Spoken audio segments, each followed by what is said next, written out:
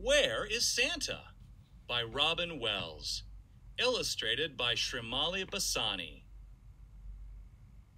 Words to know before you read carrots, cookies, milk, presents, roof, Rudolph, Santa, smiles.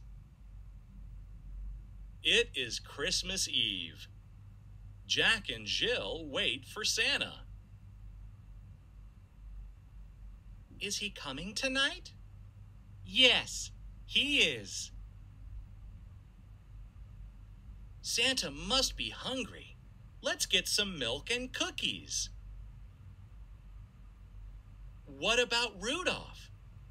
We can give him carrots. Thump! They hear a noise. It is him. Jack and Jill run outside. They see Santa on the roof. Santa is here. Hello, kids. Santa smiles at Jack and Jill. Here are your presents. See you next year.